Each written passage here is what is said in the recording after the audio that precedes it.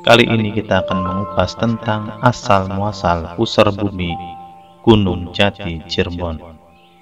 Tapi sebelum kita membahasnya, jangan lupa kita subscribe terlebih dahulu dan like, komen, dan share agar kami selalu semangat dalam mengupas sejarah Islam.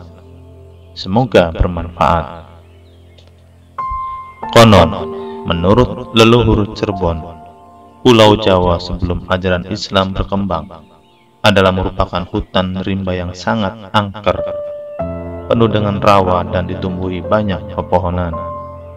Pada suatu masa, di salah satu puncak gunung, hiduplah seorang pertapa bernama Pendeta Bagral Banjir.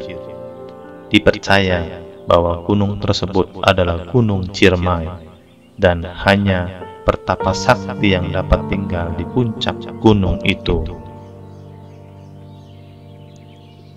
Sang pendeta melakukan tapa demi meminta kepada Sang Hyang Maha Tunggal supaya diberi ilmu wijining serandil dan kesempurnaan hidup. 15 tahun sudah pendeta Baragal Banjir bertapa di puncak gunung Ciremai. Tak sia-sia keinginannya dikabulkan oleh Sang Hyang Maha Tunggal. Bersamaan dengan raga sukma ilmu wijinin serandil merasuk ke tubuh pendeta Bagral Banjir. Sang pendeta langsung merasakan tubuhnya menggigil kedinginan dan akhirnya pingsan tak sadarkan diri. Bersamaan dengan itu, tanpa disadari oleh pendeta Bagral Banjir, Gunung Ciremai mendadak meletus dahsyat. Puncak Gunung Ciremai pun ambrol, terlepas dan terpental melesat jauh ke angkasa dan akhirnya jatuh ke laut. Puncak Gunung Ciremai itu terombang-ambing di perairan. Sementara itu, tubuh pendeta Bagral Banjir telah hilang tanpa bekas. Sayangnya, Pendeta Bagral Banjir justru hilang saat ilmu Wijining Srandil merasuk ke dalam tubuhnya. Hilang bersamaan dengan melesatnya puncak gunung Ciremai saat gunung itu meletus. Banyak pendeta lain yang datang untuk menyempurnakan yang telah dilakukan oleh pendeta Bagral Banjir. Namun mereka mendapatkan perlawanan sengit dari para siluman penghuni Pulau Jawa para pendeta dan para pengikutnya terpaksa mundur sampai ke arah utara Jawa Tengah. Mereka membuat kantong-kantong pertahanan. Kantong pertahanan terakhir adalah pertahanan setengah lingkaran yang kemudian disebut Pekalungan atau sekarang bernama Pekalongan. Dalam keadaan terdesak, Tiba-tiba datanglah pertolongan dari seorang yang sakti mandraguna yang kemudian dikenal dengan nama Resi Wisesa. Dengan kesaktiannya, Resi Wisesa dapat mematahkan setiap serangan dari para siluman, para pendeta, dan pasukan mereka pun selamat. Setelah kondisi aman, Resi Wisesa pergi lagi entah ke mana sementara para pendeta dan para pengikutnya dipimpin oleh Resi Giling Musi bergerak ke arah selatan dan mereka mendirikan pemukiman di daerah Tegalan. Pemukiman itu kemudian menjadi sebuah daerah kedaulatan bernama Madang Kamulan. Prabu atau raja pertama adalah Resi Giling Musi sendiri. Namun, gangguan dari para siluman kadang masih terjadi daerah Pekalongan pun telah dikuasai kembali oleh bangsa siluman ular. Konon, pemimpin bangsa siluman ular tersebut adalah seorang raja perempuan yang bernama Ratu Dewi Lanjar. Prabu Gilingwesi wafat dan kedudukannya digantikan oleh anaknya yaitu Prabu Parikenan. Masa kekuasaan Prabu Parikenan tergolong singkat setelah berkali-kali mendapatkan serangan dari bangsa siluman. Akhirnya, Prabu Parikenan tewas di tangan Sadewa, anaknya sendiri, yang bersekutu dengan bangsa siluman. Sadewa naik tahta dan bergelar Prabu Cingkara Dewa atau Prabu Dewata Cengkar. Dalam legenda pewayangan versi Jawa, Prabu Parikenan adalah awal mula garis keturunan Pandawa. Sementara itu, titik-titik paku mantra pusaka Pulau Jawa telah berhasil disempurnakan oleh seorang yang bernama Resi Wisaka. Konon, Resi Wisaka adalah manusia setengah dewa yang berasal dari negeri para dewa atau para hyangan. Resi Wisaka mendengar kabar tentang kerajaan Madang Kamulan, kerajaan yang akhirnya dikuasai oleh Prabu Dewata Cengkar. Prabu Dewata Cengkar memiliki kelainan seksual. Sang Prabu adalah pecinta sesama jenis. Korban lampiasan nafsunya adalah rakyatnya sendiri. Bila sang Prabu telah bosan, orang tersebut akan dijadikan korban persembahan untuk makanan bangsa siluman, sekutu kekuasaannya. Resi Wisaka berniat membebaskan rakyat negeri Madang Kamulang dari kezaliman Prabu Dewata Cengkar. Namun, sebelum itu Resi Wisaka menemui dua orang abdinya yang bernama Sayyid Abdurrahman dan Sayyid Abdillah. Sang Resi menitipkan suatu doa mantra kepada mereka berdua agar doa itu diolah menjadi kunci mantra kelak kunci mantra itu akan diminta sendiri oleh sang resi dari mereka. Artinya, tidak ada orang yang boleh mengambilnya selain resi Wisaka.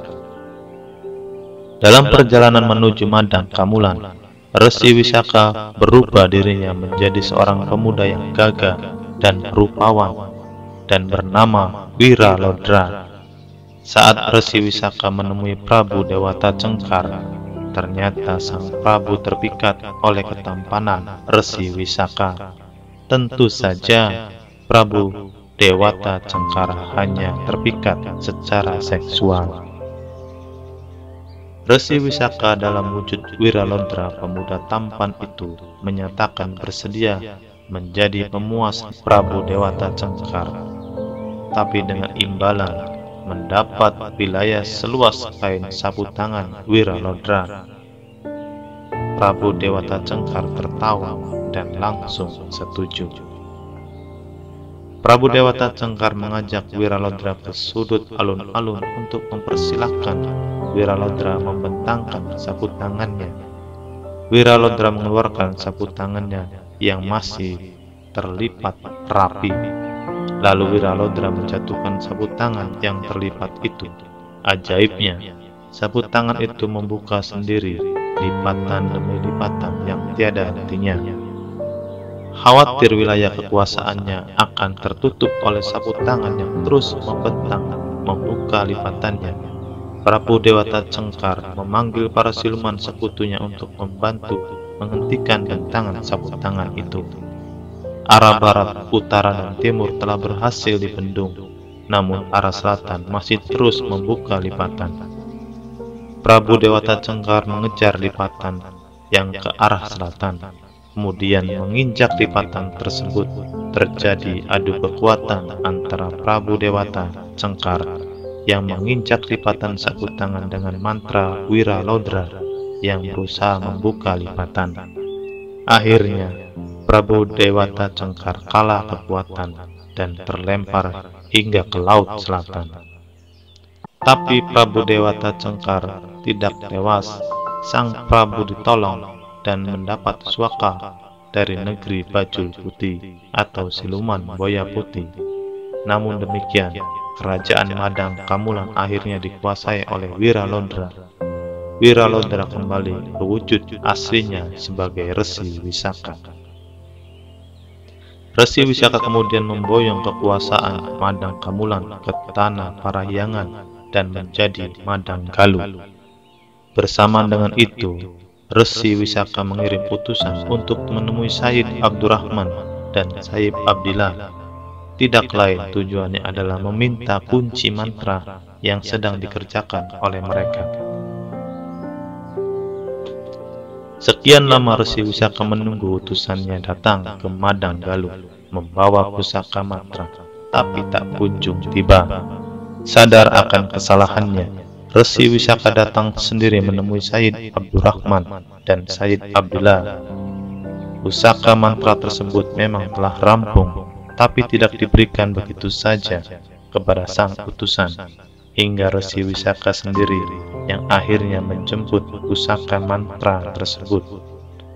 Pusaka mantra tersebut diberi nama Carakan atau utusan, yang kemudian kita kenal sebagai urutan huruf Jawa yaitu Hana Caraka, Data Sawala, pada jayanya, Maga Batangan.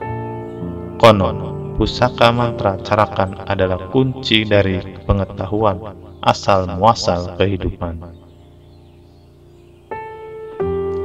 Dalam legenda Yunani, pengetahuan itu tersimpan dalam kotak Pandora.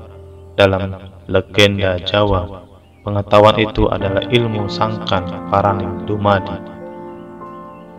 Kisah Resi Wisaka itu oleh masyarakat Jawa diabadikan sebagai dongeng Aji Saka dari bumi Majeti. Sekian ratus tahun berlalu, kisah pun berlanjut. Puncak Gunung Ciremai masih terombang-ambing di laut.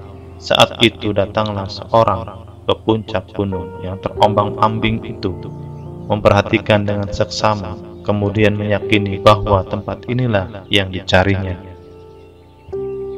Itulah petilasan tempat pertapa pendeta Bangral Banjir.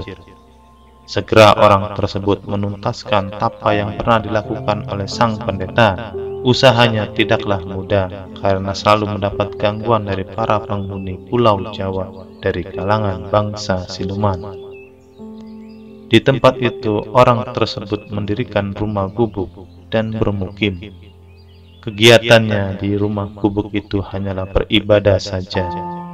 Orang tersebut yakin akan tempat yang dipilihnya ini. Orang ini selalu berdoa memohon petunjuk guna mengembangkan ajaran Islam di Pulau Jawa. Saat tengah kusuk berdoa, tiba-tiba dia dikejutkan oleh suara tanpa rupa Suara itu sepertinya keluar dari pepohonan.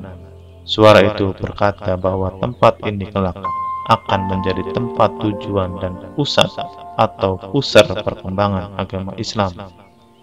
Hal ini semakin memantapkan niatnya untuk tetap tinggal selamanya di tempat ini. Dari tempat orang itu biasa duduk, terpancar sinar atau cahaya dari dalam bumi, memancarkan cahayanya ke permukaan tanah Jawa. Sinar itu memancarkan cahaya yang menerangi ke seantero jagat negeri-negeri Islam. Konon, orang tersebut kemudian dikenal dengan sebutan Syekh Nurul Jati atau Syekh Nur Jati, Nur Ingkang Sejati. Sedangkan tempat duduknya kemudian dikenal sebagai pusar bumi Gunung Jati. Wallahu a'lam bishawab.